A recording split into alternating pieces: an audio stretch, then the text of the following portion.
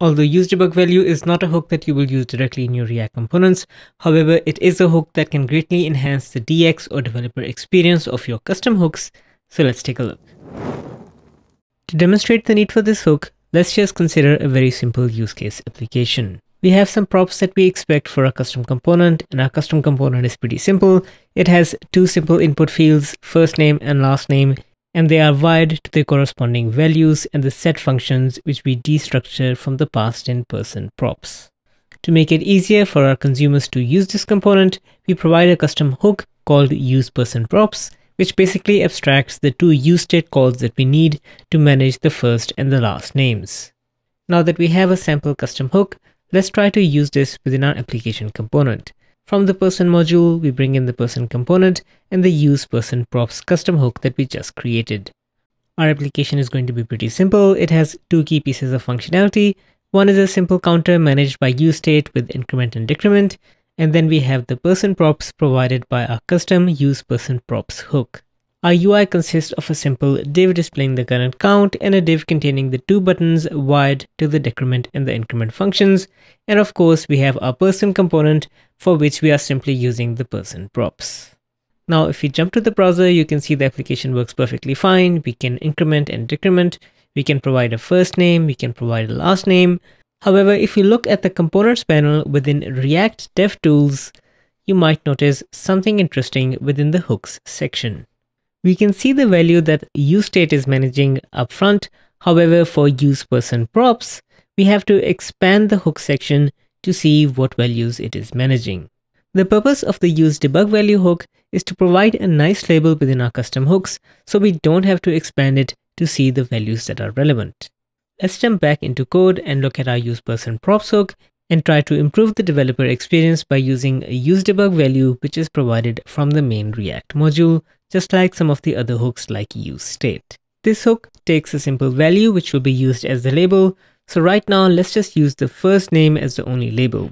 Now, if we jump into the application and provide a first name, note that now we can see the label up front without having to expand the person props hook. We can actually make multiple calls to use debug value. So for example, provide the first name and then provide an additional label in the form of the last name. And now if we jump into the application and provide the last name, you can see that the label shows up as an array of the two values that we passed in. Now I do highly recommend that you don't make multiple calls to keep things simple.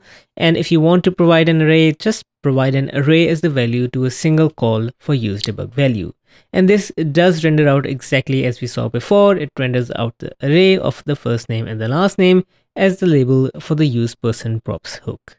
In addition to providing an array for the useDebugValue, you can actually even pass in an object. So here we are passing in an object containing the first name and the last name member strings.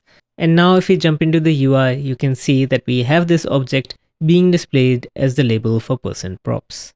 Now, even though you can provide different kinds of values to use debug value and React will try its best to render it out as a nice label, I do highly recommend that you provide a label which is of type string and do your own formatting to be guaranteed that you get the best experience as you glance quickly at the different hooks within the React developer tools.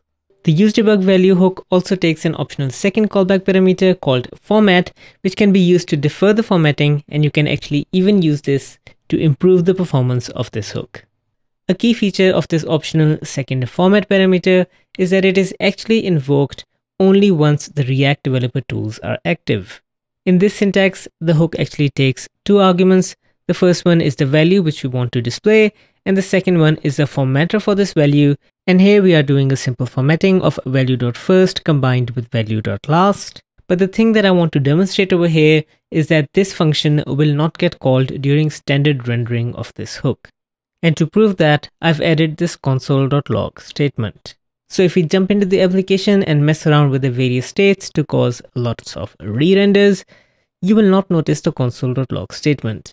However, if we go into the components panel, that is when that format function will get called and we see the formatted result in the form of this simple string label. The main use case for this, of course, is to save up on performance and not running format all the time and only run it if there is an active developer tool session open. Now using this, we can actually do something pretty cool as well. We can actually pass in an initial value of null and then all of our logic only exists as a result of the format function, which of course only executes if there is an actual debug session happening. And in terms of rendering, it's going to be exactly the same as you would expect. We get that nicely rendered first name, comma last name, which is of course the result of our format function. As a final thought, I don't recommend adding debug values to every single custom hook that you might have. It is most valuable for custom hooks that are part of standard shared libraries that you are using again and again, or that have complex internal data structures that are difficult to inspect without adding a custom label. As always, thank you for joining me and I will see you in the next one.